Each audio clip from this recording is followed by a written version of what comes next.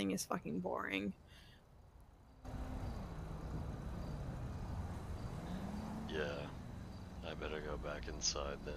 No, uh, no, I no, I think no. mm, yeah, you should like totally not go back inside because like otherwise I'll have to like have bombs like, everywhere and I'd have to blow them up and I don't want to have to do that because your friends are inside and I just I don't want to to. Kill You them. what? you did what? I almost fell out of my chair. Hello? I almost just fell out of my chair. I almost just fell out of my chair. I- She doesn't know what to say. Sorry, say that again. Uh, uh, oh, oh.